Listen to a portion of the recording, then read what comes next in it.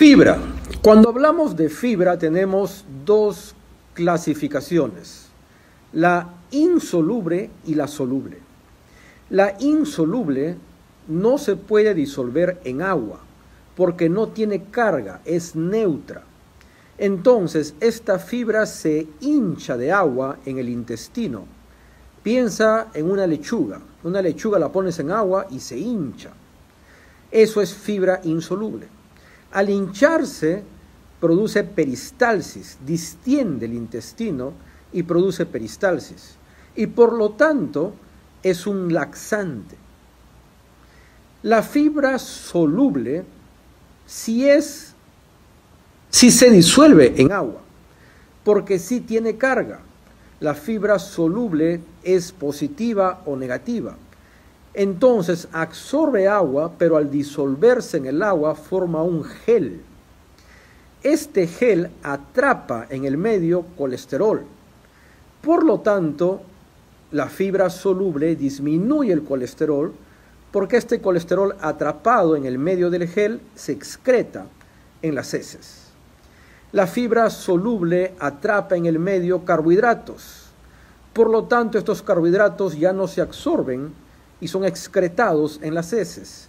Y es por eso que la fibra soluble puede ayudar a bajar la glucosa en sangre. Sin embargo, la fibra soluble también atrapa en el gel vitaminas y minerales. Y usada en exceso puede llevar a desnutrición por falta de vitaminas y de minerales.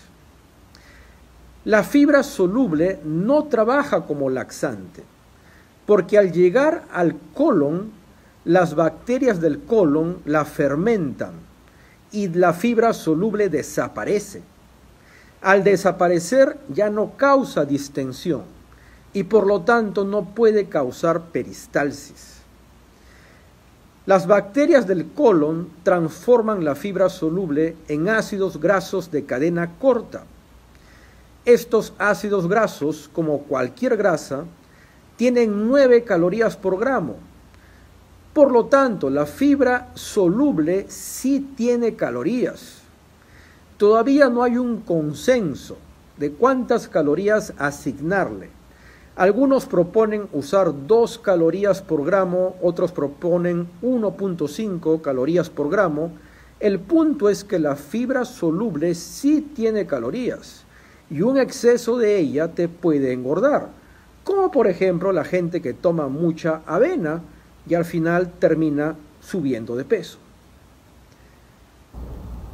Otro punto importante, las bacterias cuando fermentan la fibra soluble producen estos ácidos grasos de cadena corta que son la principal fuente de energía para las células del colon. Entonces, si tú no comes fibra soluble, las células del colon mueren y es mucho más fácil que desarrolles cáncer de colon. Es por eso que debes comer siempre fibra soluble. La fibra soluble y la insoluble se encuentran siempre juntas en los alimentos. Por ejemplo, si yo como una manzana, la fibra insoluble está en la cáscara. Esa es la parte que produce el efecto laxante y la fibra soluble está en la pulpa. Esa es la parte que produce la disminución en colesterol y en glucosa.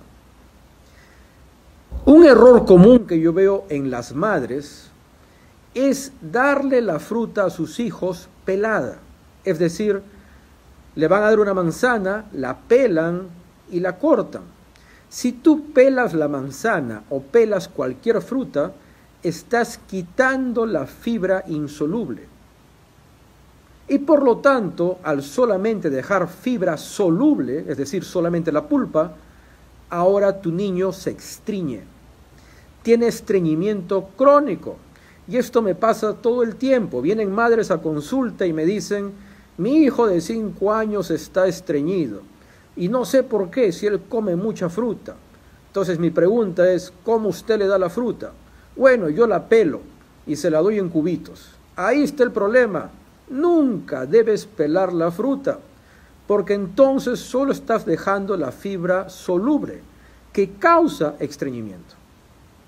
Así que es importante consumir siempre la fruta con cáscara para tener el beneficio de ambas fibras, la insoluble y la soluble. En conclusión, las dos fibras trabajan diferente. La fibra insoluble es un laxante. La fibra soluble atrapa nutrientes y puede bajar el colesterol, la glucosa, pero también puede atrapar vitaminas y minerales y llevar a desnutrición. Otro punto, la fibra soluble sí tiene calorías, porque es fermentada por las bacterias y transformada en ácidos grasos de cadena corta. Y el último punto, ambas fibras están juntas en los alimentos. Y por lo tanto es importante que cuando tú comas frutas o vegetales, no elimines la cáscara para tener el beneficio de ambas.